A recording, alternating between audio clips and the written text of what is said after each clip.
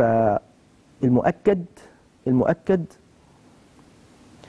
إن إحنا حتى لما اتكلمنا عن بعض الجزئيات التي تبدو سلبيا وبيكون من خلالها أو من خلال رصدها الهدف الصالح العام كان بعد مباراة الزمالك لما خسر الأهلي فالناس قالت أنت طلعت اتكلمت لما الأهلي خسر. طيب ولما جت معلومات ليها علاقة بالفرقة وهي معلومات حقيقية بعد ما الأهلي كسب فالناس قالت لك الله ده الأهلي كسبان. أنت بتقول انت معنى كده يا جماعة إن إحنا في كل الأحوال بالشكل ده مش هنعرف نقول معلومه لكن المهم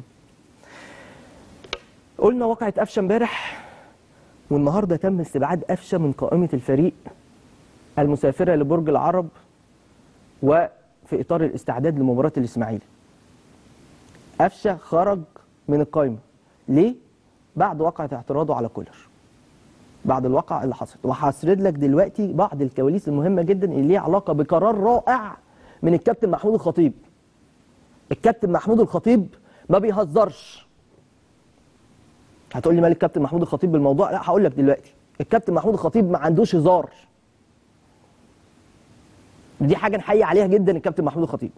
بالتالي يا جماعة لحد امبارح حكيت لحضراتكم القصة وإن قفشة دخل في أوضة اللبس وقال لكولر أنت مش عادل. أنت مش عادل لأن التصريحات اللي بتقولها في, في الإعلام وال social media عندك حاجة واللي بتنفذه حاجة تانية. ده حصل يا جماعة.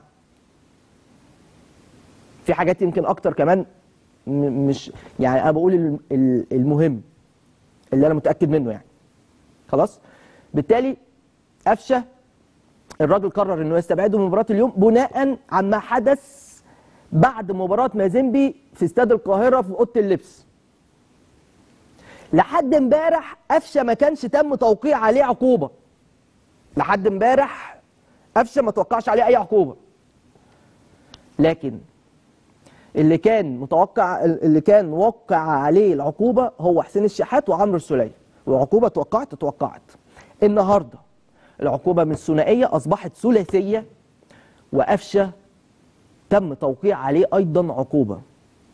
الثلاث عقوبات تحت إشراف الكابتن محمود الخطيب. تحت إشراف الكابتن محمود الخطيب بنفسه. واطلع على كل ما حدث وصدق على هذه العقوبات. صدق على هذه العقوبات. لأن الكابتن محمود الخطيب مع بص آه أنت كسبت الفرقة وكسبت النادي ووصلت نهائي أفريقيا بس النادي في نفس الوقت مش مقصر معاك في حاجة. النادي الأهلي يا بخته اللي يلبس التيشيرت بتاعه. أنت محظوظ أنت وهو وهو وأي حد إنك بتلعب في النادي الأهلي. وأنا يعني عايز أقول حاجة للجمهور. بدل ما تلوم أو البعض يلوم على الإعلاميين لا لازم يكون في لوم على بعض اللاعبين. مش بتكلم على الثلاثه دول تحديدا بتكلم بشكل عام. اللي ممكن يصدر منهم تصرفات بحكم غيرتهم على اللعب برضه حط لهم العذر ده بحكم إن هم عايزين يساهموا بشكل أو بآخر يكونوا فعالين في تأهل الأهلي بحكم إن هم بيحبوا ناديهم بيحبوا فرقتهم كلام من ده. كل الكلام ده حلو. تمام؟ ده بيحصل عادي. لكن في نفس الوقت لازم تبقى عارف نعمة النادي الأهلي. لكن المؤكد النهارده كان في بأوامر من الكابتن محمود الخطيب توقيع الغرامة على قفشة بخلاف إنه صدق على عقوبات السولية والشحات. لأن البعض امبارح أو في ناس يمكن قالت إن الشحات العقوبة مش موجودة عليه دي كانت تبقى مصيبة. أنا بقول لك اهو. ممكن حسين يزعل اي حد ممكن اي حد يزعل أنا بقول يا جماعة برضو خبر. بالتالي العقوبات اتنفذت بقرار من الكابتن محمود الخطيب بدون رجعة بدون أي نقاش. هتقول لي يعني إيه بدون رجعة؟ هقول لك إن كان قبل كده في المرحلة الحالية كان في عقوبات بتتنفذ وبعد كده خلاص حصل خير. وده ما ينفعش. ما يصحش ولما هتعمل كده فبالتبعيه هتلاقي إن الدنيا بتفرط منك.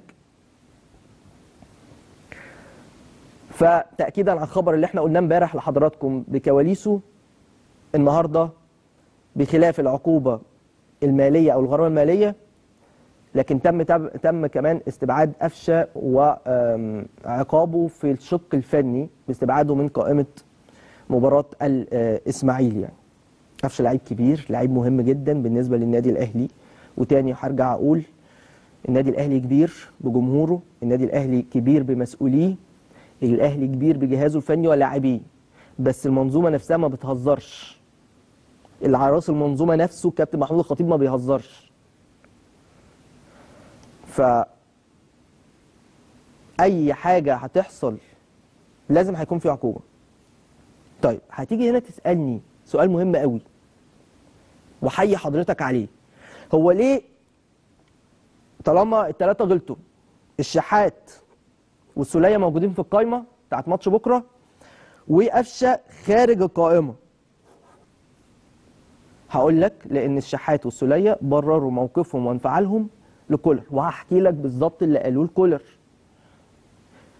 وكولر اتقبل منهم المبررات بتاعتهم.